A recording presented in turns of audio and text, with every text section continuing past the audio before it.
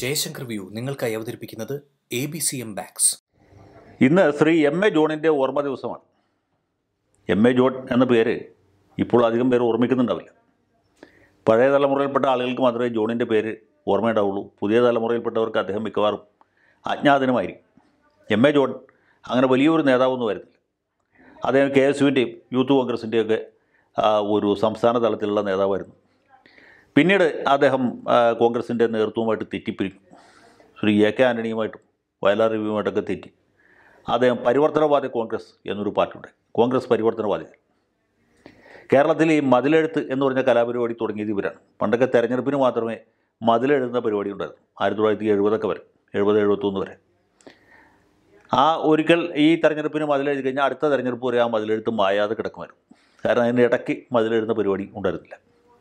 അന്ന് മതിലുകളും വളരെ കുറവാണ് ഈ മതിലുമ്മൽ മതിൽ വൈറ്റ് വാഷ് ചെയ്ത് അവിടെ മുദ്ര ഈ ഇവരുടെ രാഷ്ട്രീയ മുദ്രാവാക്യങ്ങളൊക്കെ എഴുതുന്ന പരിപാടി തുടങ്ങി വെച്ചത് ഈ പരിവർത്തനവാദ കോൺഗ്രസ്സുകാരാണ്.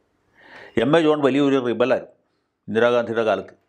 അതിൽ A K Antony K P C പ്രസിഡന്റായിരിക്കുന്ന സമയത്തൊക്കെ എ കെ ആന്റണിക്ക് പുരോഗമനമില്ല. അല്ലെങ്കിൽ പുരോഗമനം വേറെ രീതിയിലാണ് വരേണ്ടത് പരിവർത്തനം. പരിവർത്തനം കോൺഗ്രസ്സിലൂടെ മാത്രം എന്നൊക്കെ പറഞ്ഞ ആളാണ് ജോൺ. ജോണിന്റെ ഒരുപാട് സൂക്തങ്ങളുണ്ട്. അതിൽ ഏറ്റവും പ്രധാനപ്പെട്ട സൂക്തം എം എ ജോൺ നമ്മെ നയിക്കും എന്നുള്ളതാണ്. എനിക്കിപ്പോഴും ഓർമ്മയുണ്ട് എന്റെ വീടിന്റെ ഭാഗത്ത് അങ്കമാലിയിലൊക്കെ ഇവർക്ക് ധാരാളം പ്രവർത്തകരുണ്ട്. അപ്പോൾ ആ ഭാഗത്തുള്ള മതിലുകളൊക്കെ ഇവർ ബുക്ക് ചെയ്ത് ബുക്ക് ചെയ്യേണ്ട വെറുതെ എഴുതിയാൽ മതി. മതിൽ വൈറ്റ് വാഷ് ചെയ്തിട്ട്. എം എ ജോൺ നമ്മെ നയിക്കും. പരിവർത്തനം കോ- കോൺഗ്രസിലൂടെ മാത്രം എന്ന് എഴുതിക്കൊണ്ടിരുന്ന ആൾക്കാരാണ്.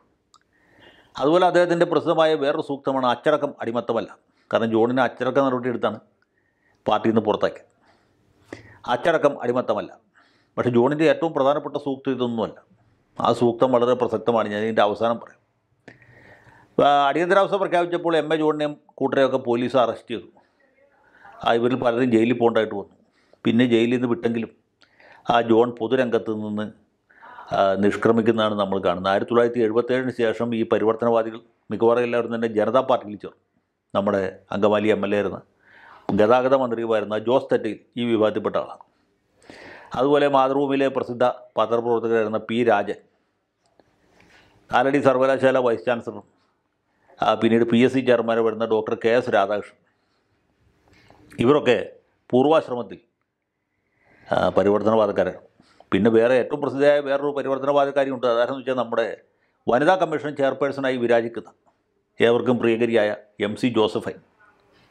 പരിവർത്തനവാദികൾ മിക്കവരും തന്നെ ജനതാ പാർട്ടിയിൽ ചേർന്നപ്പോൾ അല്ലെങ്കിൽ രാഷ്ട്രീയം തന്നെ ഉപേക്ഷിച്ച് പോയപ്പോൾ മാർക്സിസ്റ്റ് പാർട്ടിയിൽ ചേർന്ന ആളാണ് പി എ മത്തായി. മത്തായി പരിവർത്തനവാദിയാണ്. അദ്ദേഹത്തിന്റെ സഹധർമ്മിണിയാണ് ഈ ജോസഫൈൻ. അവർ രണ്ടുപേരും സി പി എമ്മിലാണ് പോയത്. അങ്ങനെയാണ് സഖാവ് ജോസഫൈനായിട്ട് മാറിയത്. പിന്നീട് കേന്ദ്ര കമ്മിറ്റി അംഗം വരെയായി ആ ഇപ്പോൾ വനിതാ കമ്മീഷൻ അധ്യക്ഷയായിട്ടും വിരാജിക്കും.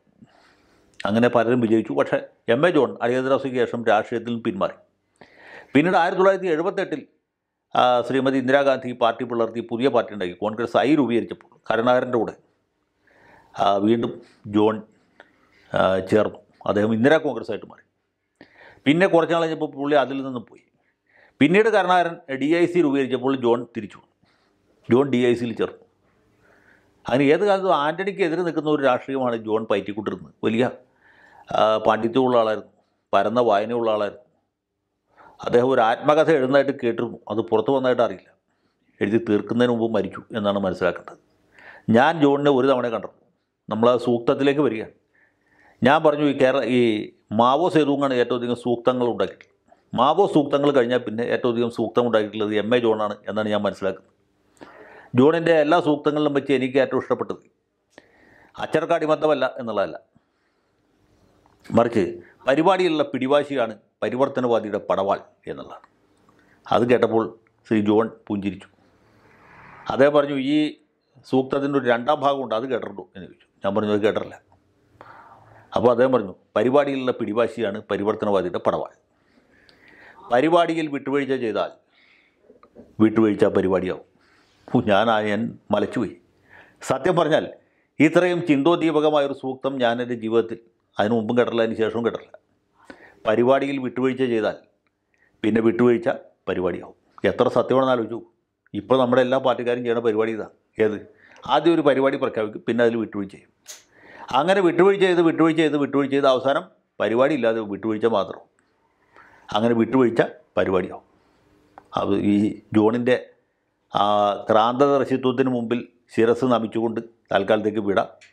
ശ്രീ ജോണിന് ആദരാഞ്ജലി അർപ്പിക്കുന്നു.